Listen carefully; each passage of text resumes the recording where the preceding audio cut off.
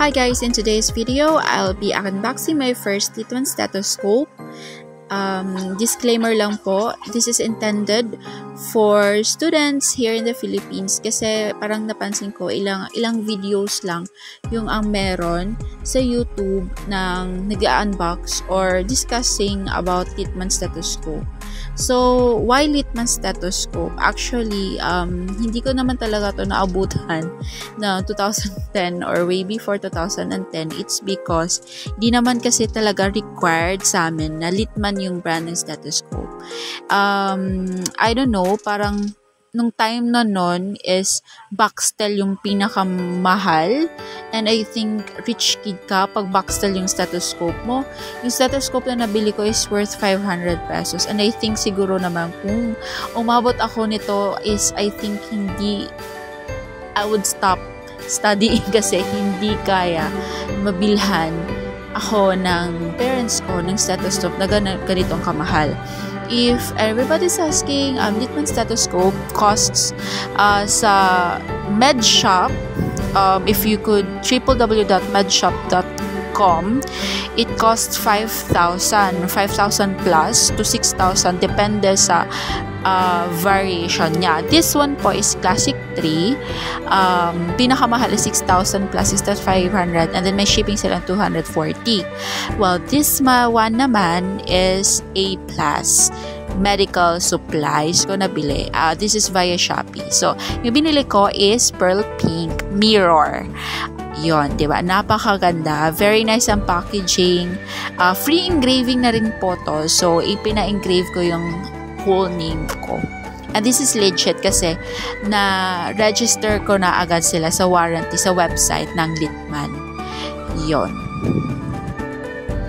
So yun, sorry guys, um, medyo tsaka lang yung video ko because this is very, um, parang ayaw kong staged yung um, unboxing natin kung for real na to.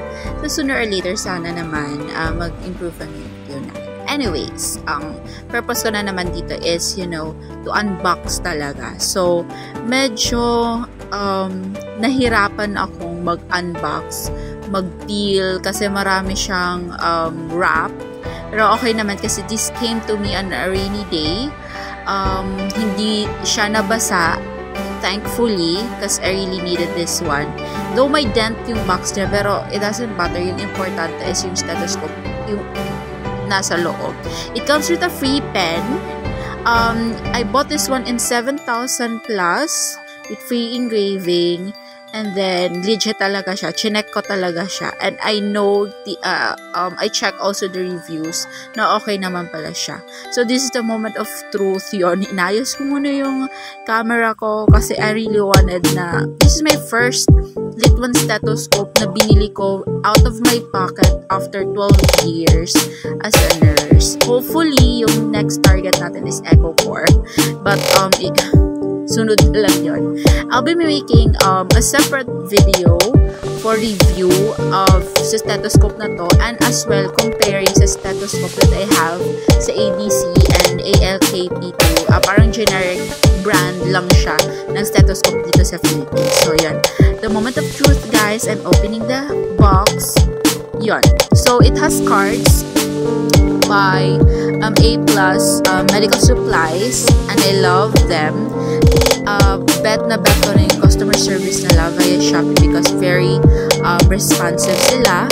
And yun, ito may stand where you could, you know, um, contact with them uh, in their social media, FB, uh, Facebook, Shopee, and their website, of course.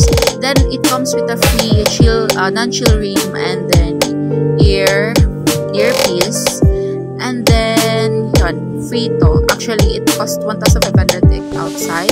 Then, yun, this is legit kasi, yun, ito talaga yung gusto ko na makita ko sa sarili ko. Yung may stethoscope ako na litiman. I don't know, um, kababawan, pero I guess it is a price for hard work in 12 years. So, yun, na-engrave yung pangalan ko and nice naman yung pangalan. Uh, the rubber itself, um, okay lang. Medyo sticky-sticky siya, pero I guess kasi bago. Amoy bago ho siya, swear. And I love it. So, tinest ko siya. Um, kung parang nagpa-pump dun sa piece niya, okay naman. So, yon So, it means walang walang leak within the tube and okay siya in good condition. Now, what else? Um, this is their handbook, manual. Ay, hindi ko na siya nabasa. Ang daming languages. Naloka ako maghanap sa English. Pero, you know, you could find it in the website. Then, um, yon hindi ko na alam kung paano to ibalik. Paano, after all, binuting-tingkot, binuting-ting. So, yan. Guys, thank you.